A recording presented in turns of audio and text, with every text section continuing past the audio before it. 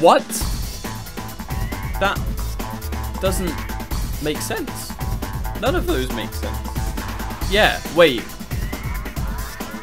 No.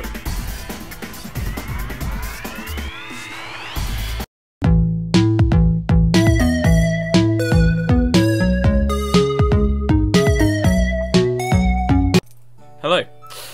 Today, we're going to be looking at this year's Senta Shiken exam, and your fully qualified English teacher is going to fail at it again, as I usually do. So, nice to see you. As promised, Senta Shiken. This video will be split into two parts, okay?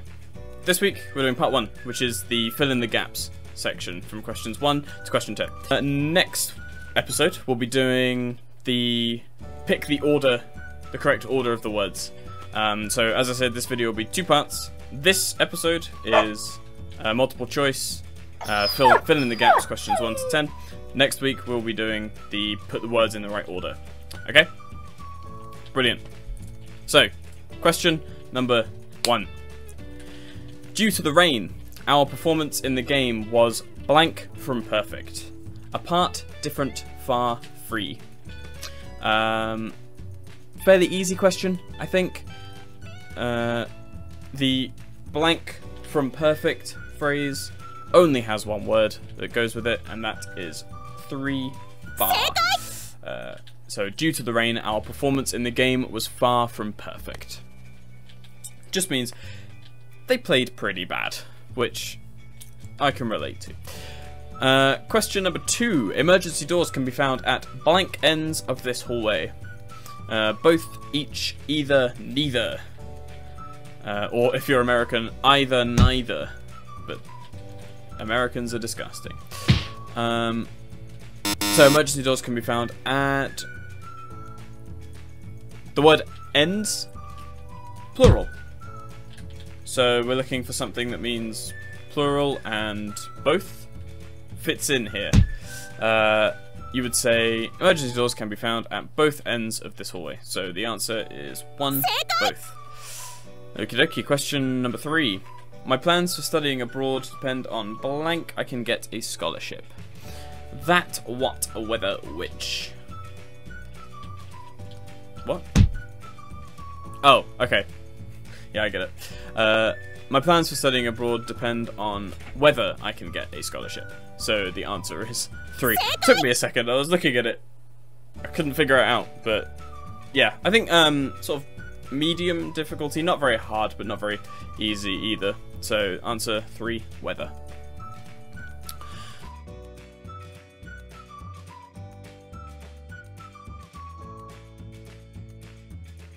Uh, question number four. Noriko can speak Swahili and blank can Marco. Also as so that.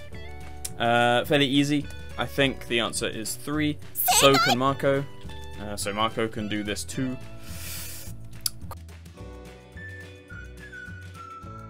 Question number five. Uh, oh, we're blasting through this. Maybe I don't need to split it into two parts. We'll see. To say you will go jogging every day is one thing, but to do it is blank. Another, one another, the other, the others. Um, probably quite difficult question, uh, but for me, fairly easy because all of these words have different meanings, but they are very similar. Uh, the answer here is one, uh, but to do it is another. Uh, so you're saying, yeah, you can say you're going to do something, but actually doing it, that's a that's a different thing. Um, I can say I'm going to run every day, but I never will. I barely get out of bed. Uh, question number six. Our boss is a hard worker, but can be difficult to get blank. Along with, around to, away with, down to. Fairly easy. Phrasal verb. Uh, the answer is one. Along with. It's like if you get along with somebody, then you're good friends, or um, you at least are happy with each other. You talk to each other. Uh, question number seven. When Ayano came to my house, blank happened that nobody was at home. It something there what?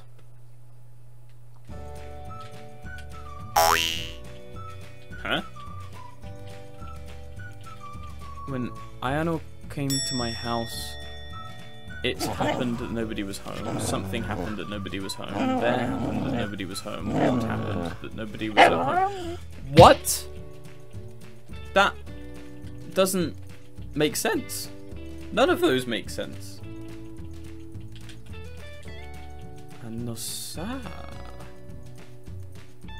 It happened that nobody was at home?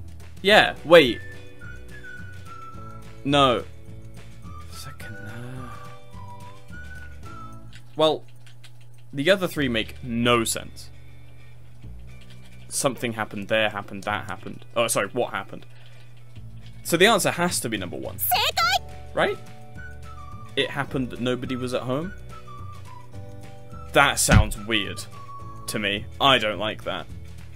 I don't like that at all. But maybe that's the answer. I think that is the answer. So I'm gonna go with it. It's number one. When Ayano came to my house, it happened that nobody was at home. That sounds weird, but whatever. Second, that is a weird question. Okay.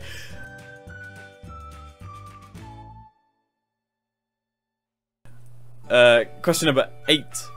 We'll be able to get home on time as blank the roads are blank. Um, as far as the roads are blocked. As far as the roads are clear. As long as the roads are blocked. As long as the roads are clear. Uh, fairly simple. Um, think about B, answer B in this question. Uh, you're trying to get home on time. To do that, you don't want the roads to be blocked with traffic. You want them to be clear. So straight away, you can tell it's either two or four. Um, and then it's just knowing the as blank as structure. And in this sentence, uh, you're talking about a hypothetical or a situation that you want to occur. So the answer here is four.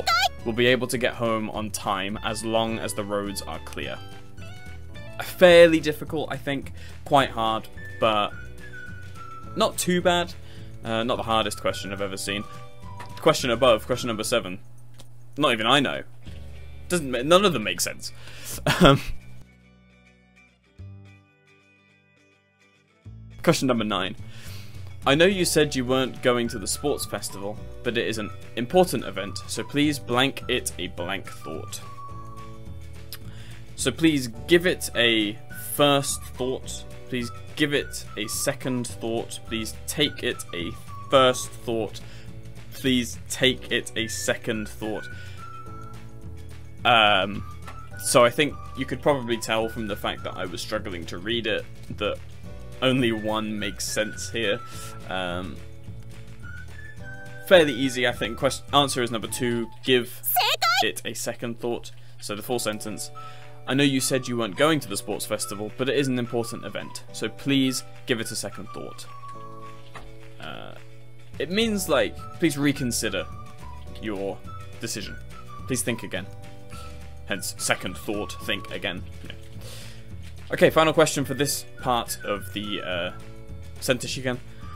Question number 10. I didn't recognize blank of the guests, blank the two sitting in the back row. I didn't recognize any of the guests except for the two sitting in the back row. I didn't recognize any of the guests rather than the two sitting in the back row. I didn't recognize either of the guests except for the two sitting in the back row. I didn't recognize either of the guests rather than the two sitting in the back row. God, these questions are hard to read. Okay. Um. I'm not sad. The answer here is I didn't recognize any of the guests except for the two sitting in the back row. Answer number one.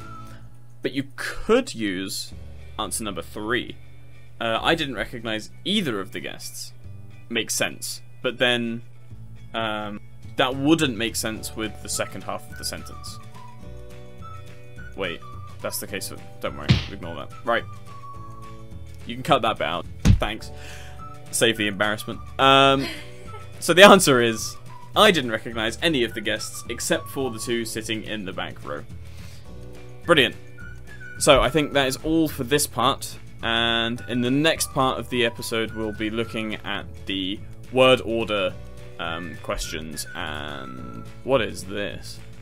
And okay, word order questions and structure questions and some very confusing looking things that we'll explore in the next video. So thank you very much for watching this week and I will see you later. Goodbye.